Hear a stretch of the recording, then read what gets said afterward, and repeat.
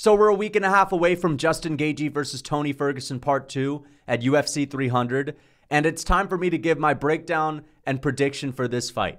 Now, all jokes aside, I'm actually a lot more interested in this matchup now that I know for a fact that Max Holloway has been bulking up for longer than this fight has been even announced to the public. He's been bulking up for a few months before the announcement. It was necessary for Holloway to bulk up. And we're seeing these photos on social media of Max Holloway looking jacked. And, you know, listen, I think people are kind of exaggerating how big he is. They're acting like he's Mr. Olympia all of a sudden. He's in some downlighting with a pump in the gym. All right. He's looking lean, which is the good thing, which is a far cry from the Max Holloway that we saw in 2019 fighting Dustin Poirier, who was just a fat featherweight. Now that I know Holloway's been bulking for a while, for like six months, and he's taken some necessary time off to get ready for this division. And it's a really tough test for him. I mean, think about this. He's been fighting featherweight contenders that don't have a lot of hype for years now, and he's been losing to Volk and fighting a featherweight contender without a lot of hype. Rinse and repeat. Now he's fighting one of the marquee names in the lightweight division, new weight class, BMF title, one of the biggest cards in UFC history. This is perfect for Max Holloway mental mentality wise, this is a perfect fight to get him up. Not that he needed it, but I'm just saying if there's anything that could get Max Holloway to show a whole new version of himself, a whole new level, it's this one. So I am interested in this. And I don't think he's going to get turned into Tony Ferguson. I think this is really competitive. And the other thing that I wanted to talk about before we get deeper into this bulk, because the last thing I'm going to get into is the X's and O's, the breakdown, my official prediction, but I really wanted to talk about the bulk of Holloway. But before we talk about that, we need to talk about the time off of Justin Gaethje. We talked about just now how Max Holloway is in the perfect matchup to be the best version of himself ever. Change of scenery, new weight class, a killer like Justin Gaethje, that's a guy that's scary as hell to face, that seems to have caught a new wind, right? But how long has it been since Justin Gaethje has fought? It's been damn near a year. Holloway's been out for like nine months, but he's needed to be out. He's needed to bulk up. I want a long layoff for the guy moving up a weight class. For Justin Gaethje, who caught a new wind last year, who kind of like was the best version we've ever seen at the age of what, 34, 35? I want that guy to stay active, and he's not done that. He's been Kai Kara France elf on the shelf mode for like 10 and a half months. He fought July last year and he had a lot of momentum. And he's probably been thinking about, dude, I'm going to fight Makhachev. And he was sitting out waiting for that opportunity. And now, you know, the UFC held him out for UFC 300. 35.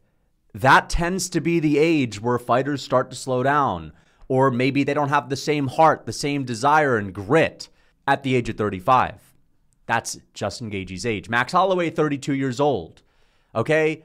Like Justin Gaethje, maybe he can get a second wind in his career. Not that he necessarily needs it, but it's possible for him to still make some serious evolution in skill, right? Whereas at this point, I don't know how much better Justin Gaethje is going to get. And not only has Justin Gaethje been out for a long time and he's been inactive, well, he's fighting someone that's let's be honest, he kind of uses a pipsqueak, right? Like his first reaction to the idea of fighting Max Holloway was, ah, I don't want to hurt Max. I would say Holloway, but I don't ever want to fight Holloway. So why not? Mm, I don't know. I just don't ever want to. I don't want to punch him. Just too nice of a guy, or nah, I just don't. It's not necessary. man. I mean, I like the guy. I showed him around Colorado. I don't want to hurt this guy. He's a good friend of mine. Let's let little Max be, right? Whereas you bring up a Dustin Poirier fight, you bring up an Islam Makhachev fight, that's sending a shiver down his spine and he gets scared and that's really waking him up. Remember, when he fought Tony Ferguson, they gave him the call when Khabib pulled out. Khabib pulling out. They gave him the call when Khabib pulled out. And he said that he like shit himself and he was like super scared, but it helped him get ready for that fight. Right when he fought Khabib, his heart rate was like through the roof. Max Holloway, Gaethje's looking at him as someone that's not that dangerous. I've listened to interviews from Justin Gaethje, and, and yes, it's true, Holloway doesn't have KO power, but he can overwhelm people. And Gaethje said, although I know this guy could overwhelm me and like bring me into deep waters, and I got to have a good gas tank and I got to train hard for this, I'm not scared like I normally would be. 35 year old Justin Gaethje, who's had 10 months off, who caught a second win last year and had momentum, who's now been out, is not scared of his next opponent in Max Holloway, who, on the other end of things, has the perfect storm to get him to evolve as a fighter in a new weight class. I just thought that that was something that was really interesting to talk about and bring up just because if this is a mental battle, I mean, I think Holloway probably has the edge going into this one, you know, because I think he's got a lot more respect for Justin Gaethje. I don't know how much respect for Gaethje uh, or how much respect for Holloway Gaethje has. I'm sure he has respect for him if you were to ask him, but my point is he's not scared of this fight, and maybe he should be. Maybe he should be. And I'm kind of talking myself into wanting to pick Max Holloway, but I'm not. I'm not going to pick Holloway. It's a really close fight, dude. It's a close fight.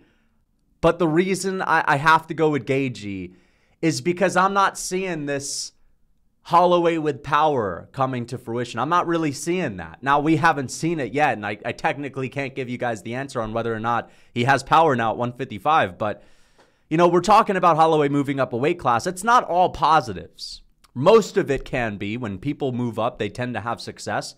Holloway was a lot more competitive against Dustin Poirier than people like to think. It's like the casual thing. I hate to say that word, but you know, the people that will say things like Holloway got massacred by Dustin Poirier, they clearly just didn't watch the fight or they only saw it once and haven't refreshed their memory. He was competitive with Poirier. He absolutely was. But um again, Holloway I don't think he's going to have a lot of power moving up to 55. We rarely see people move up a weight class from one fight to the next, maybe not over the course of a career, like Charles Oliveira, for example, who has eight years to build up into a lightweight frame, and then he starts to develop this crazy KO power, whereas he didn't have that at featherweight. But we rarely see fighters move up and in the course of one fight to the next have tons of pop. We didn't see that with Adesanya when he fought Jan Blachowicz. We didn't see that with Volkanovski when he fought Islam Makhachev. We rarely see it. We rarely see it. Now, usually they have a speed advantage. Fair enough. But for Holloway, who's not used to carrying a lot of muscle, Holloway's naturally a very skinny guy. There is a worry that I have for him that he's not going to be as fast carrying this new muscle. It's one thing if you just have a lack of a weight cut like he had in the Poirier fight, and maybe his speed didn't look a whole lot different, right? But when you have more muscle, it just requires a lot more energy for you to use it. And Holloway's probably put on maybe like five pounds of solid muscle or whatever in the past six months that he's going to be able to maintain going into this fight. Five or six pounds, I'm guessing. What if he's a little bit stiffer with the way he's throwing his punches? What if his combinations aren't so fast and snappy? That is definitely something to think about. Is that going to be a huge difference maker? Is it going to be that noticeable? Maybe not, but he may not be like the same fast guy we saw at 45 necessarily. And his power, as I said, some people expect him to have more thud on his shots. I think he will too.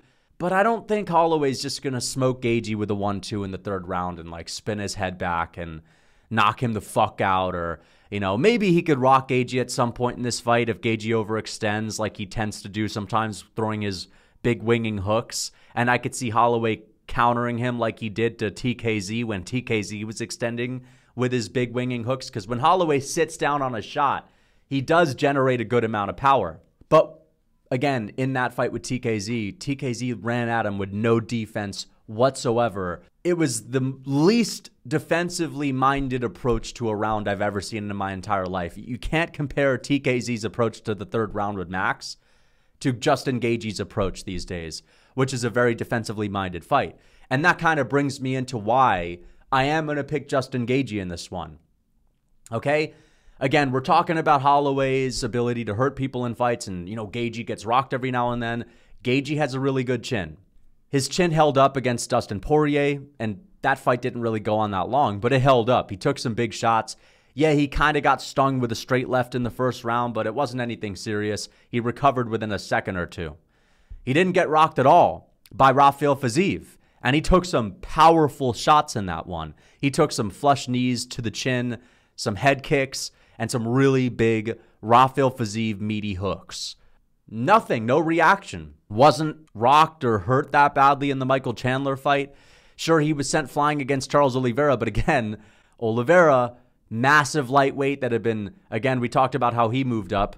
Um, fast, massive lightweight in his prime, threaded the takedown. It was a little bit different in that fight. Holloway just doesn't have that same sting. He's not going to have the Oliveira shotgun power Holloway landed like 500 significant strikes against Calvin Kattar. I know Kattar's tough, but at a certain point, like what is it? Every single featherweight has a granite chin these days. Is that what we're gonna start saying? He landed like 500 significant strikes on him, and he couldn't knock him down.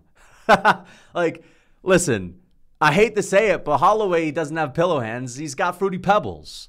Holloway hits you, it's like you're eating a fruity pebble for breakfast. And yeah, you don't want to get hit with too many of them, but the point is, he doesn't have a lot of sting where with the approach that Holloway's been taking recently, that I've actually noticed has a lot less volume. I mean, he's throwing a lot less. And I think it's to do some damage control towards this part of his career. He doesn't want to get hit as much. He's been making other improvements in his game. His defense has gotten better. So that's all good. But because Holloway is taking a lower volume approach, meaning he's less willing to put his chin on the firing line and move forward like the constant downhill fighter he once was. I think that with the lack of power, that is most likely not just going to level up tenfold in this fight just because he's had six months to put on five pounds of muscle, right? A pillow handed puncher. All of a sudden, you, come on, he's not going to turn into uh, Francis Ngannou or whatever.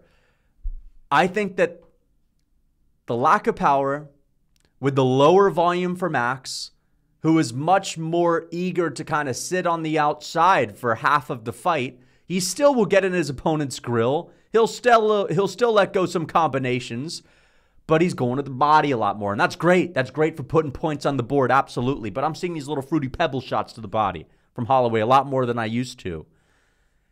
I think that with Gaethje, who has a very similar amount of volume, you can literally look at the stats to back that up and look at their last couple of fights. I know that the stats don't always tell the story and they're not always accurate, but the stats confirm what I was seeing when watching their fights back. Holloway's volume is not insane like it used to be, right? It's not insane like it used to be. He's not putting the same type of gap over these opponents. And uh, Justin Gaethje, like Holloway, we know has a much more defensively minded approach to his fights compared to what he was like when he first got in the UFC. I mean, he's literally said, I just think about not getting hit in my fights. That's what I do in my fights consciously. I'm a defensive minded fighter first. The volume, the offense, it comes naturally. I'll find the openings. But as long as I go in there and I do my best to be a good defensive fighter, I end up doing really well. So both guys are not as wild as they used to be. They're much more tit for tat, pick the openings. Holloway doesn't have a ton of sting to get the respect from Gaethje. I think that Gaethje is going to be having a field day when they trade in the pocket, which is going to be every once in a while. When Holloway throws a combination at him, I think Gaethje is going to have a field day countering with a big left hook, the same left hook he was tagging up Tony Ferguson with. I think he's going to be able to land those counter overhands right? And I just see Gaethje's shots in this tit for tat battle that I'm expecting, where Holloway's not as eager to kind of march forward and move downhill always, to put tons of pressure on his opponents and to kind of force them into that serious slugfest. I think that it's going to be a, a, a I think it's going to be an even keel pace where Gaethje's comfortable in the five rounder, and Gaethje already trains at altitude. He's already got phenomenal cardio. I think the pace is going to be comfortable for him, and I think he's not going to get stung often in these scenarios where they're exchanging like a, for example in his last fight against Dustin Poirier he was getting stung in some exchanges in the first round maybe not rocked that badly but he was getting stung Poirier was getting his attention with a couple of those shots I don't see Holloway having the same ability to do that as consistently as Chandler, Fiziev, and Poirier. And Gaethje's chin is holding up in those fights. He's got a great chin. Okay, I know people think of him like he gets rocked all the time. Not really though. Not really though. Essentially, I just think Gaethje. I think he's going to have such a significant power advantage in this fight that even though they're going to be kind of even on volume, Holloway's not going to have the bite down on the mouthpiece style that he used to, to where, if anything, deep into the fight, he can kind of, after Gaethje has taken some sting off of his shots, move forward and, and fucking bring that pressure to him and kind of break him and put the volume on him and, and just get to his gas tank and kind of force him to bring out Rufus. Rufus is that old mentality Gaethje has from the copper mines that just loses his mind in the octagon and starts slugging. I don't think Holloway's going to do it. I don't think I think Holloway's a little bit too smart for his own good potentially going into this one. And I just see Gaethje's shots being so much more impactful than Max's that the judges are going to take notice of the damage that Holloway's wearing and they're going to take notice of the effect that the shots have on Holloway as opposed to the effect that Holloway shots have on Gaethje. And even if Holloway slightly outpoints Justin Gaethje, Gaethje's going to have much bigger moments where the crowd's going to be freaking out. Oh shit! He just landed that absolute nasty uppercut. We're going to have the commentators talking about how did Holloway eat that? Oh my! Oh Joe, Joe, how did he eat that? Joe, this man's chin. They're going to be talking about his chin. Whereas when Gaethje gets tagged Bisping is going to say, that's a nice little crafty one, too, for Max, right? Nice little crafty one, too. They're going to be talking about Max being crafty. They're going to be talking about the chin when Gaethje lands, okay? That's the thing. And I think Gaethje's going to win a decision on damage. I don't think he's going to turn him into Tony because Tony has, like, I mean, Tony's defense just was not that great back in the day. He's not got the same boxing, and Holloway's defense is really fucking solid, man. He does have some great defense. In that final exchange where TKZ's running at him and we think TKZ's landing a lot of those shots, Holloway's slipping them. He's getting out of the way. He's just making a miss. He's got great instincts in the pocket, but so does Gaethje these days, man. So does Gaethje. And I don't see this moment where Holloway just, with more thought on his shots, just smokes him with a one-two, spins Gaethje's head back. Gaethje's rocked. Holloway's up against the fence, teeing off, teeing off. Even when that happens, I feel like Holloway had a moment against TKZ where he kind of rocked him in the first round. He dropped him in the second with a nice one, too. But, you know, TKZ's head at that point, he was, he was like a grandpa. Doesn't have a chin. At that point, he got caught with a nice little one, two of Max. But in the first round, Max rocks TKZ, and I know it's the first round. He rocks him and he doesn't jump on him at all. I feel like Holloway's so reserved in moments in his fights these days, where if he rocks Justin Gaethje, he's going to be like, He's going to do one of these like he did the Volkanovski, and he's going to do one of these, and Gaethje's going to recover a couple seconds later, right? So I think Gaethje gets it done by decision. Also, we got to talk about the low kicks. I don't think it's going to be that big of an issue. Gaethje doesn't throw that many low kicks anymore like he once did. At one time, he was throwing 30, 40 a fight. Nowadays, it's like you're lucky to see a single low kick in a round from Justin Gaethje. So Max used to kind of be open to leg kicks, not as much anymore since he's changed his stance and he's a lot lighter on that lead leg and he can check him easier. I still think that because Gaethje looks at Max Holloway having those very skinny legs, that's just going to be a, a target point in the training camp that they have. They're going to be thinking of Max, skinny Max, likes to move downhill, likes to put together volume. Let's get rid of the base. Let's get rid of the base. I think he is going to up the ante with the low kicks going into this one. Maybe it was harder to do that against Fiziev, especially when Fiziev's swinging bombs on you and he's got an extra bit of thud and he's also got the Muay Thai style. Maybe they were thinking he might check these kicks. Charles was able to check the kicks. Holloway, I'm sure he's got decent leg kick defense. I'm sure he can slide out of the way. I don't think that, you know, we're going to see a Gaethje leg kick TKO. I don't think the leg kicks are going to be that devastating because he doesn't throw them as often, but I think that they will definitely take away some of the movement of Holloway, 100%. Holloway's kicks, on the other hand, they're just not that impactful, right? He, they're they're good for volume, they're good for points, but they're not that impactful. The chin for Holloway, I think, is going to hold up. I don't think he's going to get KO'd. So yeah, I, I, that is my breakdown for this fight. I think it's going to be pretty competitive, but I don't see Holloway knocking Gaethje out. It's possible. I don't see it happening. Can Gaethje knock Holloway out? I don't see that happening either. Holloway, in my opinion, is. Uh, I think he's a really smart fighter. I, I don't think he's going to entertain the slugging with Gaethje. I don't think he gets KO'd. I think his defense is excellent. His chin is excellent. Moving up a weight class, lack of the weight cut. I don't see him getting put out or stopped up against the fence or anything like that, or even a doctor's stoppage because I don't see him taking the same amount of punishment as Tony did.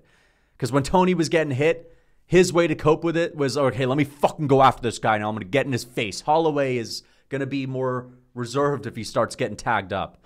So Yeah. But I want Holloway to win. I'll, I'll leave you guys on this note. I really, really want Holloway to win, dude. Imagine how big this would be for his career. Because if Gaethje beats him, Gaethje's expected to beat him.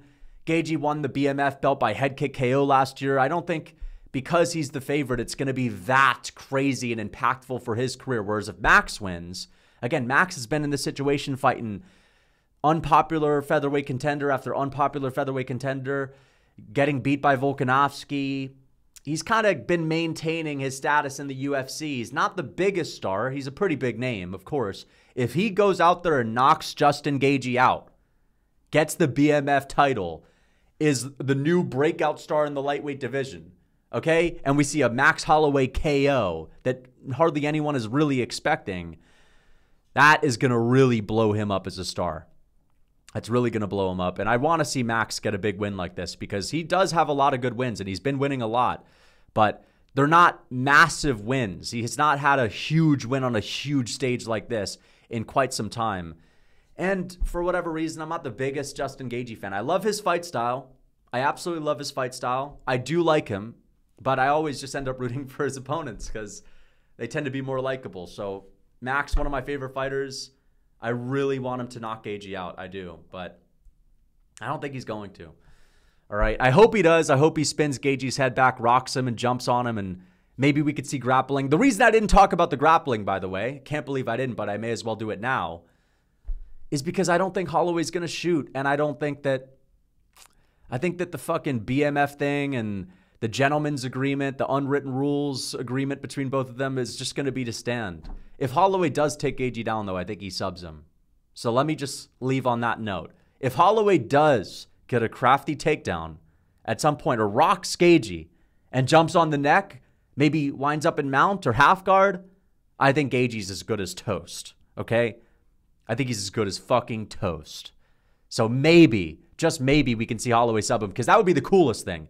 If he knocks Justin Gaethje, or not knocks him down, but if he like rocks him and then Gaethje shoots like a panic takedown and Holloway gets the neck and transitions it into a, a Darce or an Anaconda, like he almost had an Anaconda over TKZ and he subs him, that would be perfect. Okay? So I really want him to win. I just don't think he's going to, guys.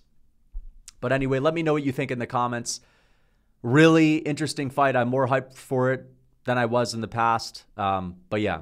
Also, Holloway lost two rounds to Arnold Allen, and I can't believe I didn't mention this, but this is the last. This is actually the last thing I want to mention, which is in part why I'm picking Justin Gaethje against these heavy hitters. Holloway again, he ends up respecting the power so much that he again does never really start to make it a point to really move downhill and put tons of volume and pressure on guys and take those risks. And we saw that in the Arnold Allen fight. Second round, fifth round, Arnold Allen won those rounds and forced Max Holloway to fight on the back foot the entire time because of the power, because of the speed. And I think that Justin Gaethje, a much bigger version of Arnold Allen, who's similar in the in the sense that he's letting go like short burst combinations, one, two, overhand, left hook, just short bursts, but explosive with tons of power. That's what ends up getting Max Holloway to respect them. And he's less dangerous in those types of fights. I think that Justin Gaethje's a much heavier hitter than Arnold Allen, though. So I think that the consequences to getting hit are going to be a lot greater in that in this fight. So yeah. Anyway, that's it for the breakdown. Full card picks coming soon.